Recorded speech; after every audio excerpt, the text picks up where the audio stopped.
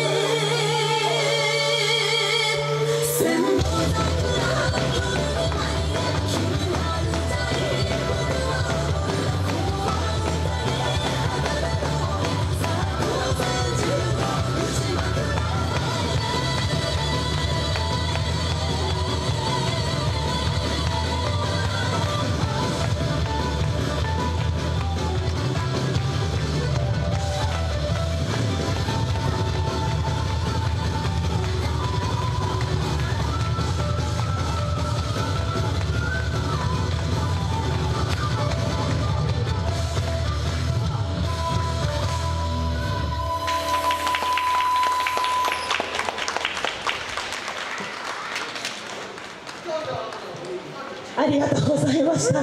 まさか2人ともセンスとかにやっちゃうとはね思いませんでしたけども。